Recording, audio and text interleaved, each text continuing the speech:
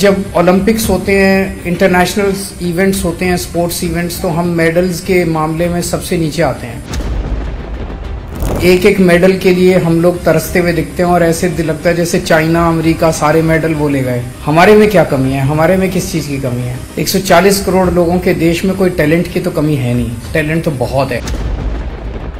Traffic light पे मैंने कितनी बार देखा और उस टाइम मेरे मन मेरी आँखों में आँसू आ जाते हैं कि वो बच्चे जो हैं इतनी फ्लेक्सिबल उनकी बॉडी होती है जो ट्रैफ़िक लाइट पे वो करके दिखा रहे होते हैं। सो so, टैलेंट गरीबी पैसे का मोहताज नहीं है।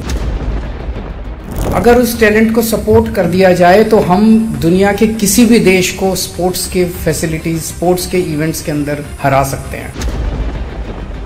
तो अब आपको मेहनत करनी है अब आपके ऊपर है कि जो ट्रस्ट देश ने आपके अंदर दिखाया, वो आपको पूरा करना है। आज अभी आपका पूरा दिल्ली स्पोर्ट्स स्कूल देखा और देख के it was really an eye opener और मैं सबको कॉन्ग्रेचुलेट करना चाहता हूँ जिन जिन लोगों ने इस शानदार फैसिलिटी को क्रिएट किया इंस्टीट्यूशन को क्रिएट किया।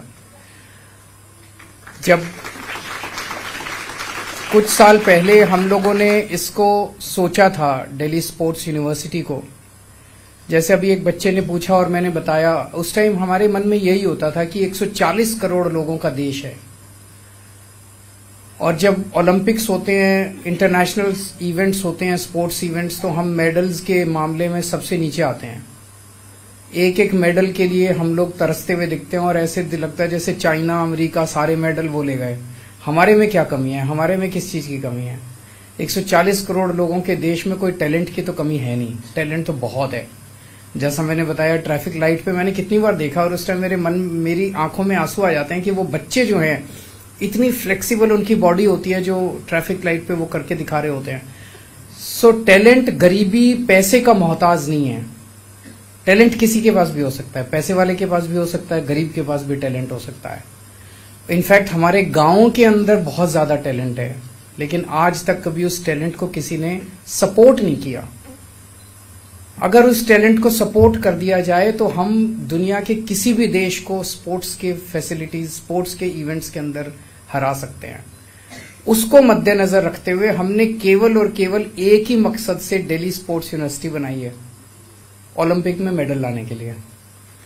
तो आप सब लोगों को उसी एक मकसद से काम करना है कि सबको ओलंपिक में मेडल लाने की तैयारी करनी है ये हमारा मकसद है। हमने डेली स्पोर्ट्स यूनिवर्सिटी बनाई है लेकिन यूनिवर्सिटी का जो प्रारूप है हम बहुत बड़ा विजन है हम लोगों का। उसमें ढाई तीन हज़ार स्टूडेंट्स होंगे अस्सी एकड़ के अंदर वो यूनिवर्सिटी मुंडका में बने, बनेगी। उसमें दो तीन साल लग सकते हैं तीन चार साल लग सकते हैं। लेकिन मुझे बेहद खुशी है कि तब तक दिल्ली स्पोर्ट्स स्कूल यहाँ पे बनाया गया और आज यहाँ पे दस ओलंपिक स्पोर्ट्स की ट्रेनिंग दी जा रही है।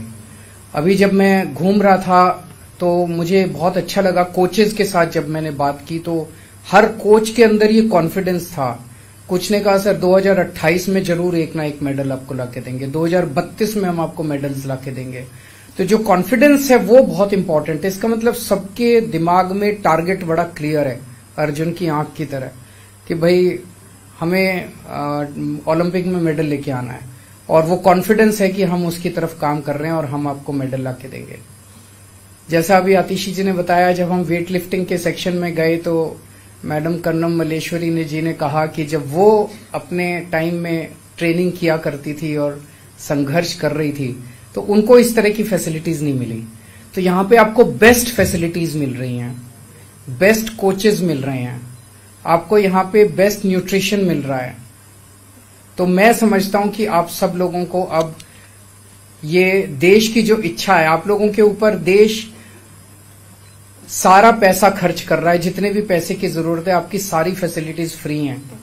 जो, जब देश आपके लिए पैसा खर्च कर रहा है, अब आपको भी वो जो ट्रस्ट देश ने आपके अंदर दिखाया है, वो ट्रस्ट आपको पूरा करना है और आपको दिन रात मेहनत करके ये सपना देश का पूरा करना है कि हमें ज़्यादा से ज़्यादा, अभी 10 ओलंपिक स्पोर्ट्स हैं, इसके बाद जो यूनिवर्सिटी बनेगी, उसमें 20 ओलंपिक स्पोर्ट्स होंगे। इन 20 ओलंपिक स्पोर्ट्स के अंदर सारे मेडल अपने को ओलंपिक्स के हमारे पास आने चाहिए। आप लोगों को बहुत ग्रोलिंग टेस्ट से गुजर के आप यहाँ पहुँचे हैं। कई सारे लेवल्स के टेस्ट हुए और उसके बाद कंपटीशन हुआ। उसके बाद बता रहे हैं, दस हज़ार से ज़्यादा एप्लीकेशन आई थी। उन दस हज़ार से ज़्यादा एप्लीकेशन में केवल एक सौ बहत्तर बच्चों को चूज़ किया गया। तो इसका मतलब मैं समझता हूँ आप क्रीम ऑफ़ क्रीम है। और एक तरह से छठी, सातवीं, आठवीं के बच्चों को इस लेवल पे जब हमने आपको निकाला है चूज़ किया है, और आपको अंत तक इंटरनेशनल लेवल पे जब तक आप खेलते नहीं है, हम आपको सपोर्ट करते रहेंगे। तो अब आपको मेहनत करनी है। अब आपके ऊपर है कि जो ट्रस्ट देश ने आपके अंदर दिखाया, वो आपको पूरा करना है। और अभी एक बच्ची ने पूछा कि आप हमारी कैसे मदद करेंगे? हमें स्पोर्ट्स नहीं आता। ना मुझे आता, ना आतिशी को आता और ना हमारे डायरेक्टर एजुकेशन को आता और ना सेक्रेटरी स्पोर्ट्स आप लोगों को आता है। स्पोर्ट्स कर्नम मैडम को आता है मलेश्वरी मैडम को आता है। आप हमें जो बताएँगे कि हमें ये चाहिए, हमारे को ये फैसिलिटी चाहिए, हमारे को ये और चाहिए आगे बढ़ने के लिए ये हमारा कमिटमेंट है कि आपको किसी चीज़ की कमी नहीं होने देंगे। लेकिन बताना आपको पड़ेगा।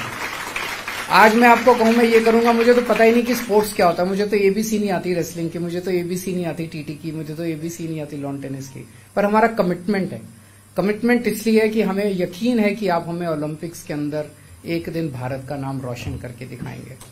आज आपके बीच में आके बहुत अच्छा लगा। और ये सारी फैसिलिटीज़ देख के बहुत अच्छा लगा। इतने कम समय के अंदर, मात्र चार से छह महीने के अंदर आपने नेशनल लेवल पे स्टेट लेवल पे इतने सारे मेडल जीत लिए। वो एक हमें भी हौसला देता है और आपको भी हौसला देता है कि भविष्य के अंदर हम बहुत अच्छा करके दिखाएँगे। Best of luck and God bless you